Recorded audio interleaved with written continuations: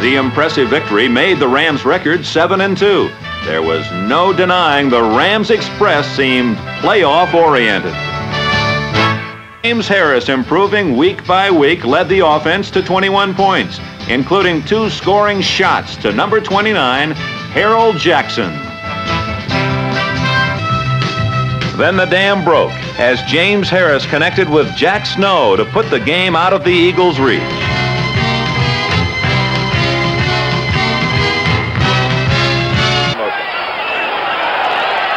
The pass pattern.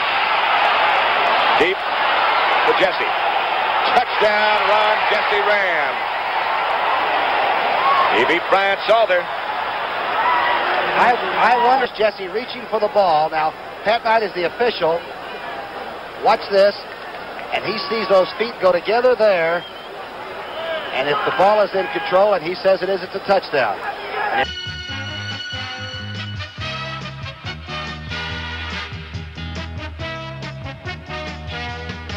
Receiver coach Leeman Bennett was glad.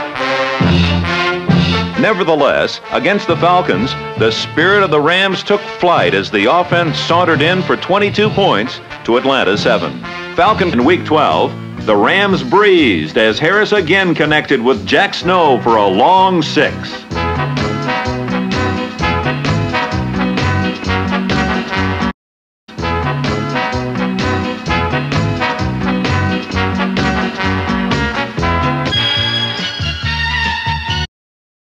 Harris capped his debut with another toss and sprint to Swift Harold to make the final Los Angeles 37, San Francisco 14. Jimmy Harris 12 for 15, 276 yards, three touchdowns and no interception. James Harris, who exploded with dazzling effectiveness. He hit number 30, Lawrence McCutcheon, on a 50-yard catch and sprint to make it 14 to nothing.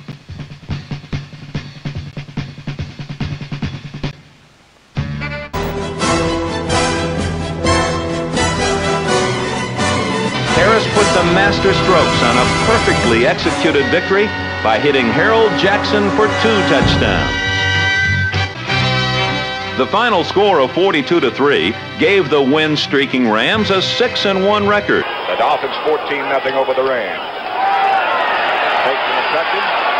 Jessie wide open and he ought to go. Ron Jessie touchdown Los Angeles. And the blocking, this pass was made possible. Incredible. Watch Harrah, watch number 60 Harrah and Rich Saul stand up, come back, and set up. That's Doug France to the top. Look at 61, and they're 77 now, and they really drill uh, those Dolphins and get them off. And now Jessie has really split the underside of that zone and even gets a convoy as Harold Jackson, uh, the Roadrunner, takes it in too. 58-yard touchdown pass from James Harris to Ron Jessie. Really poured it on the Falcons all day long. James Harrison there now. Nobody's got a more powerful throwing arm than Harris, and here he hits Dwight Scales for a Rams touchdown. At this point, the score became 52 to nothing. They won it 59 to nothing. We've got them Saturday night.